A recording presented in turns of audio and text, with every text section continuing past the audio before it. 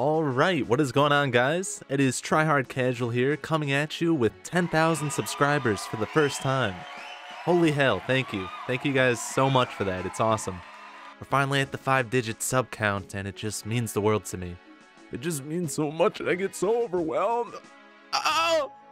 Anyway, on today's episode of Should You Buy It, we're going to be talking about the Fallen Prince, the two-handed bonk stick. You know him, you love him, it's the Abyssal Bludgeon. Unfortunately, our sweet young innocent boy here has fallen out of our good graces because of other items being implemented that are just kinda better for what it does.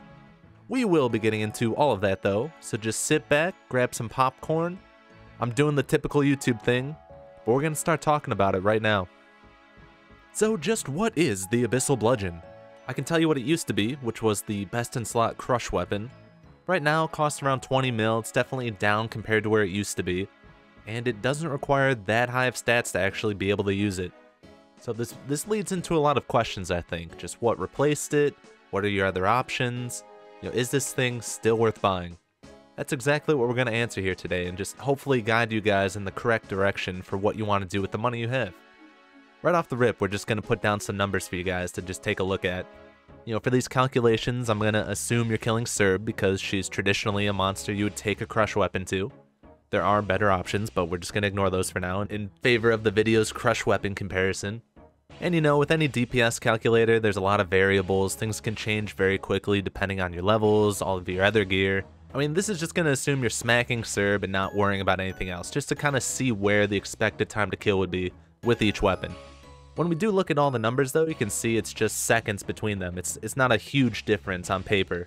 But over the course of a trip, over an hour, over a whole task, you know, these seconds really add up to save you a lot of time. I think another overlooked factor sometimes is just how much everything costs. Even though the Abyssal Bludgeon is 20 mil, if you compare it to the next item up that's just slightly better in terms of seconds per kill, the price is only a fraction, you know, it, it does seem like a good deal in that sense. Again, this is just to get a general sense of the items and their effectiveness on something that you would use it at. Beyond Cerberus, there are plenty of bosses you might want to take a crush weapon like the Abyssal Bludgeon to. We have the Kalphite Queen, Sarachnis, the Nightmare. They're all weak to crush. They're all bosses you would assume you'd take a crush weapon to. You know, Sarachnis was the whole reason I wanted to make this video because I had a task for her, and it was just the first time I bought the Bludgeon in the longest time, and I'm like, why is that? I think the two main reasons for this are that Inquisitors was added to the game, so it just pushed the Abyssal Bludgeon down. Also, it used to be really good at Cerberus until Arclight was made usable because Cerberus is now considered a demon.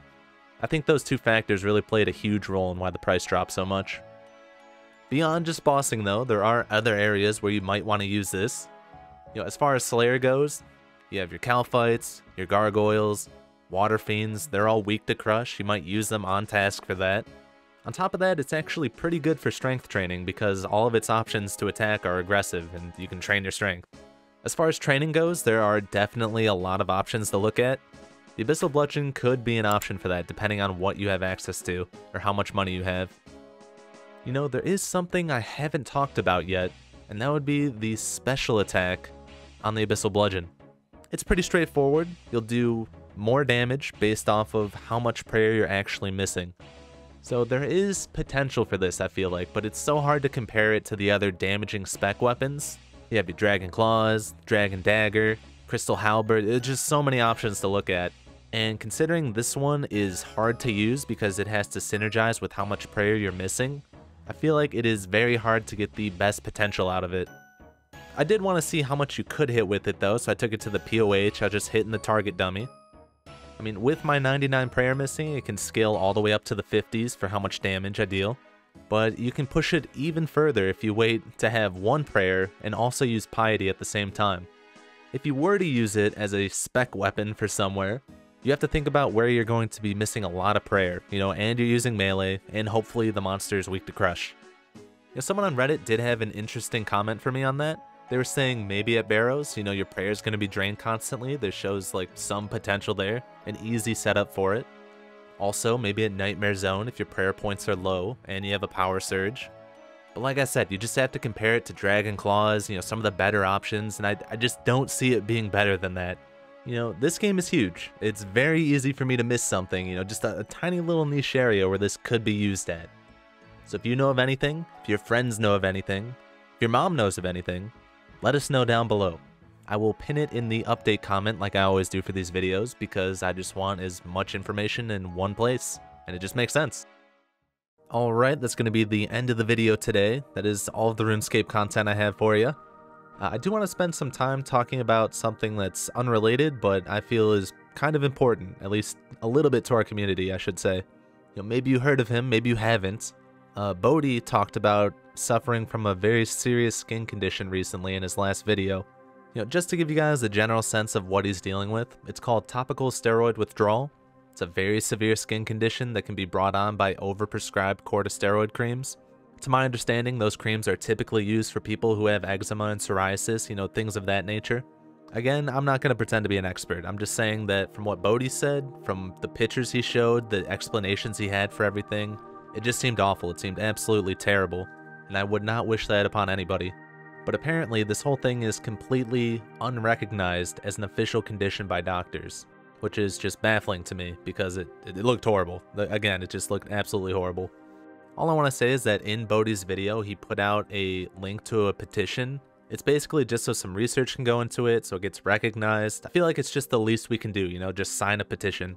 Unfortunately, I am not able to sign it. You have to be in the United Kingdom to actually be able to do that. I know a good portion of my viewers are, so just if you want to help out, if you want to support the cause, just sign the petition. Okay, this will be the actual end of the video now. You know, it's not much, but I just, I wanted to do something, you know, even if it's the bare minimum, just getting the, the word out. But yeah, if you guys have any questions about the Abyssal Bludgeon, or RuneScape in general, feel free to ask me.